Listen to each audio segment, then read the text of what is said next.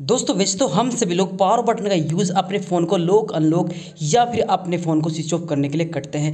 But मैं आज आपको आपके फ़ोन के पावर बटन की एक ऐसी कमाल की और ज़बरदस्त ट्रिक सिखाऊँगा, जिसको देखने के बाद आप लोग काफ़ी चौंक जाओगे। और दोस्तों, ये ट्रिक आपके हमेशा काम आएगी। लाइफ टाइम आप इस ट्रिक को यूज़ कर सकते हैं बट आपके पास, आपके फ़ोन के अंदर इस ट्रिक को एक्टिवेट करने के लिए सेटिंग होनी चाहिए। सेटिंग में आपको दिखाऊँ कि आपको सेटिंग कहाँ पर मिलेगी। आप देखिए थोड़ा सा मैं आपको एग्जांपल दिखा दूँ। देखिए, ये मेरा पावर बटन है। जिसे मैं यहाँ पर आपको इसको लॉन्ग प्रेस करूँ तो यहाँ पर मुझे सिर्फ़ और सिर्फ़ तीन बटन दिखेंगे। इमरजेंसी का पावर ऑफ़ का और स्टार्ट का। बट आप यहाँ पर एक नया बटन और ऐड कर सकते हैं और उस बटन के क्या फ़ायदे होंगे?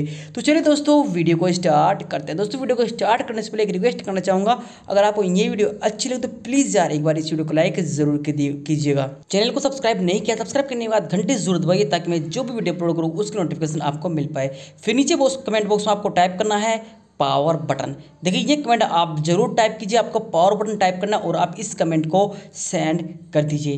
तो चलिए, यहाँ पर मैं आपको दिखाता हूँ कि आप उस ट्रिक को एक्टिवेट अपने फ़ोन के अंदर कैसे करोगे। तो उसके लिए आपको सबसे पहले अपनी फ़ोन सेटिंग के अंदर जाना होगा। अब यह, यहाँ पर चलिए, एक बार मैं यहाँ पर क्लिक करता हूँ। अब देखिए, वैसे सेटिंग आपको काफ़ी, अगर आप सर्च करोगे तो नहीं मिलेगी बट आपको सर्च का एक ऑप्शन ऊपर मिल जाएगा। वहाँ पर आपको सर्च करना है। लॉकडाउन देखिए सेटिंग आपको कुछ इस तरह से ऊपर मिल जाएगी, जैसे कि यहाँ पर मैं लिखा हुआ है लॉकडाउन जैसे मैं इसको सर्च करूँ तो यहाँ पर मुझे कुछ इस तरह की सेटिंग मिल जाएगी सो लॉकडाउन ऑप्शन तो यहाँ पर आपको क्या करना है, इस सो लॉकडाउन वाले ऑप्शन को सेलेक्ट करना है।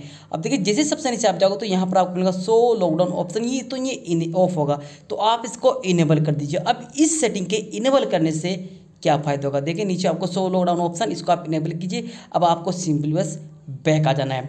अब काफ़ी बार होता है कि आपका फ़ोन आपके घर पर होता है और आप सो रहे होते हैं तो ऐसे में आपके दोस्त है फैमिली मेंबर आपका फिंगरप्रिंट यूज़ करते हैं और आपके फ़ोन में व्हाट्सअप वगैरह कुछ भी वो चला सकते हैं, कुछ भी वो यूज़ कर सकते हैं, क्योंकि शायद आपने अगर उनको पैटर्न लॉक नहीं बताया बट फिंगर लॉक तो सभी को बताता है कि आपने अपने फ़ोन में किस फिंगर से लॉक किया हुआ है। वो आपके फ़ोन का फिंगर को अनलॉक करेंगे और कुछ भी आपके फ़ोन में व्हाट्सअप कॉल वगैरह एसएमएस वगैरह, सभी यहाँ पर देख सकते हैं। अब देखिए, आपने वो सेटिंग तो कर लिया। अब इसके बाद अब क्या करना है? आपको अपने पावर बटन को लॉन्ग प्रेस करना है। अगर आप यहाँ पर देखोगे तो एक नया बटन लॉकडाउन यहाँ पर ऐड हो चुका है। अब आप उसको यहाँ पर क्लिक कर दें। देखिए, आज जिसमें क्लिक करूँ तो यहाँ पर मेरा फ़ोन लॉक हो जाएगा। अब देखिए, यहाँ पर इस सेटिंग के इनेबल करने से क्या फ़ायदा हो देखिए, यहाँ पर आपके फ़ोन का फिंगरप्रिंट बिल्कुल भी काम नहीं करेगा।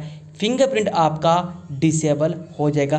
और जिसको भी आपके फ़ोन का पैटर्न या पासवर्ड पता का वही सिर्फ़ और सिर्फ़ आपके फ़ोन को यूज़ कर सकता है। बाकी अगर कोई आपके फ़ोन के, जैसे आप स्लीपिंग या सो रहे हैं, उस टाइम आपके फिंगरप्रिंट का यूज़ करता है तो वो फिंगरप्रिंट यूज़ नहीं हो क्योंकि यहाँ से आपका फिंगरप्रिंट डिसेबल हो चुका है। देखिए, अगर मैं आपको दोबारा से सेटिंग डिसेबल करके दिखाऊँ, फिर क्या होता है? तो दोबारा से फिर यहाँ पर हम सर्च करते हैं लॉकडाउन यहाँ पर आ चुके देखिए, कुछ सेटिंग ऊपर आपको मिल जाएगी।